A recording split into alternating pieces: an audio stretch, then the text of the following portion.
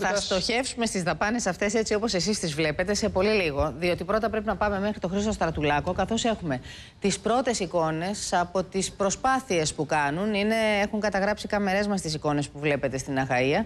Οι κάμερές μας που βρίσκονται ανάμεσα στις πυροσβεστικές δυνάμεις και ε, πολύ κοντά βεβαίως στο μέτωπο της πυρκαγιάς. Χρήστο, να μας πεις τι βλέπουμε, πού είμαστε τώρα; Εδώ είμαστε στην αρχή, είμαστε στην ε, φωτιά η οποία κατεβαίνει από την, ε, τα χωριά των Σελών και των Αργυρών προς το Πλατάνι. Βλέπετε πόσο δύσκολο ήταν το έργο των ανδρών της περιοριστική υπηρεσίας προκειμένου να περιορίσουν το πύρινο μέτωπο. Ήταν, ε, οι φλόγες ξεπηδούσαν σαν μανιτάρια σε διαφορετικά σημεία. Ήταν δύο-τρία πύρινα μέτωπα με, με μεγάλες ψηλές φλόγες. Οπότε καταλαβαίνετε τη δύσκολη προσπάθεια και των επίγειων αλλά και των εναέριων δυνάμεων.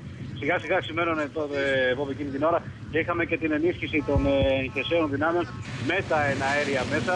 Βλέπετε λοιπόν ε, την προσπάθεια των ε, πυροσβεστών οι οποίες ε, εκείνη την ώρα ε, ενισχύονταν με δυνάμεις από άλλες περιοχές και της Δυτικής Ελλάδας, Αχαία, το Λοκανανία αλλά και από άλλα σημεία ε, προκειμένου να βοηθήσουν στο έργο της ε, κατάσβεσης. Είναι περίπου γύρω στα 50 πυροσβεστικά οχήματα ε, τα οποία έχουν ε, φτάσει. Είναι πεζοπόρο τμήμα. Είναι πυροσβέστε εθελοντέ από, από τον πυροσβεστικό σταθμό των εθελοντικών στην περιοχή των ε, Βραχνεϊκών, οι οποίοι έπεσαν με τα μούτρα, όπως ε, λέμε λαϊκά, στην ε, προσπάθεια προκειμένου να περιορίσουν τις ε, φλόγε. Πραγματικά βλέπετε και την εικόνα, είναι χαρακτηριστικό το τι ακριβώς επικρατούσε τι ε, πρώτες πρωινές ώρες στα Σελά, στα Αργυρά και στο Πλατάνι ε, με τις ε, φλόγες να καταστρέφουν, να καίνε ε, ένα πανέμορφο δάσος ε, το οποίο υπήρχε στην περιοχή. Πραγματικά όσοι είχαμε επισκεφτεί εκεί πέρα ήταν ένα μοναδικό σημείο προκειμένου να ξεφύγεις λίγο από τους ρυθμούς ευβενότητες.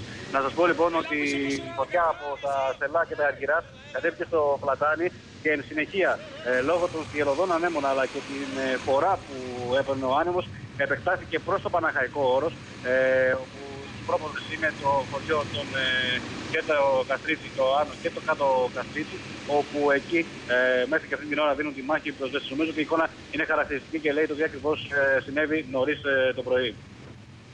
Ναι, είναι πραγματικά συγκλονιστικές εικόνες αυτές που παρακολουθούμε.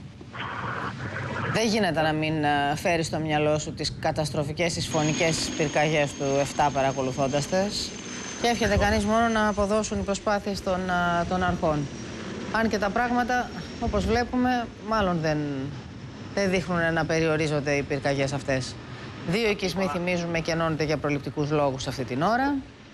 Στο, για προληπτικούς λόγους επίσης και το Πανεπιστήμιο α, άδειασε από τον κόσμο που ήταν μέσα. Και βεβαίως δεν υπάρχουν φλόγες, επαναλαμβάνω εκεί, για όσους έχετε ενδιαφέρον στο Πανεπιστήμιο. Είναι ο αέρας που μεταφέρει τον καπνό. Ο καπνός δημιουργεί μια αποπνικτική ατμόσφαιρα και γι' αυτό το λόγο κρίθηκε ε, σοφότερο να εγκαταλειφθεί το κτίριο από όσους εργάζονταν εκεί. Τώρα, θα ξαναγυρνούμε σε αυτή τη μάχη. Θα παρακολουθούμε τη, τον αγώνα που δίνουν οι πυροσβέστες, κάτοικοι τη περιοχή, ο στρατός που επιχειρεί επίσης. Και θα μας ενημερώνουν οι συντάκτες μας και ο Χρήστος ο Στρατουλάκος. Έρχομαι στην